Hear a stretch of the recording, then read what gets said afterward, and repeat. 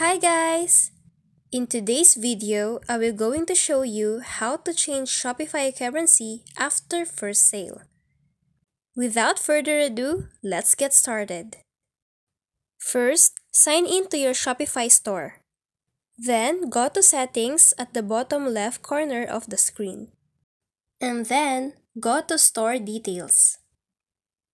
Click on Store Currency. Click on Current Currency, then select the new currency from this list. And then finally, click on Save at the top right corner of the screen to save this change. But you have to remember that after your first sale, currency is locked in and can't be changed. So make sure that you change your currency right before your first sale. And that's all for this video. Thank you for watching. Don't forget to like and subscribe.